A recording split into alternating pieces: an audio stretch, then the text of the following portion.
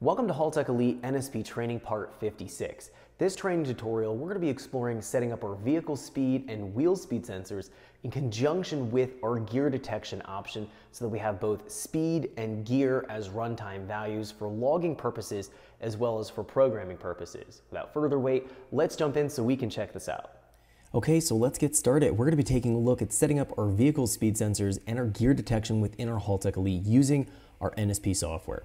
Now we always wanna have at least one speed sensor source wired into our hull Haltech so we can use vehicle speed as a reference either for data logging purposes or going into tables and assigning things like our idle control target RPM. This is based on vehicle speed. So we can use that runtime value of vehicle speed in all kinds of tables or parameters and logging. So we always want to have a speed sensor source. Now you can use multiple speed sensor sources if you want to wire in individual wheel speeds, which is definitely the way to go if you have that available to you.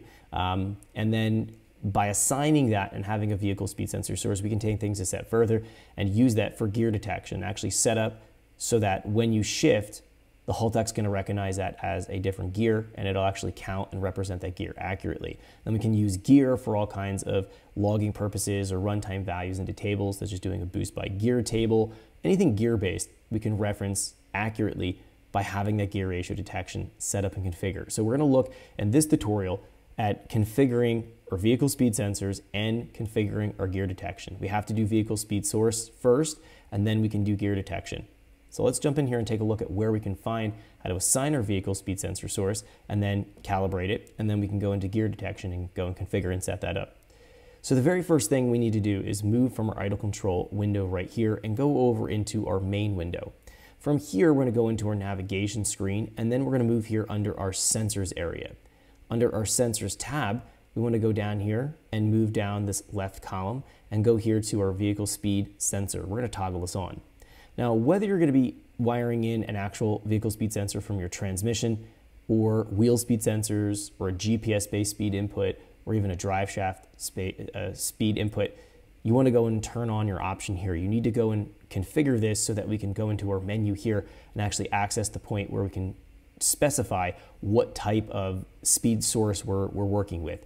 So I'm gonna go ahead and just do a quick reboot here, and then I'm gonna go scroll down my window all the way to the bottom here under vehicle speed, Let's go ahead and extrapolate this. Now here, the main source, this is going to point to what we actually want to reference for our channel based on vehicle speed. So we can have multiple different speed inputs to our Haltech, but we're only going to use one of those assigned right here for the actual reading for vehicle speed. So what do we have for options here? Well, drivetrain would be typically a transmission-based speed source.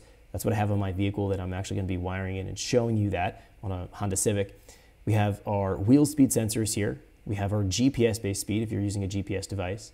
We have undriven wheels, driven wheels, and average all. So the undriven wheels would be if you have two undriven wheel speed sensors wired in. So if you're front wheel drive, front wheels would be your driven wheels, rear wheels would be your undriven wheels.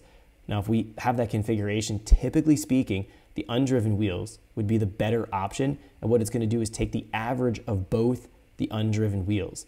The driven wheels, if you have that option, would be taking the average of both wheel speed sensors on your driven wheel speed source. And average all would be averaging all of your wheel speed sensors for the vehicle.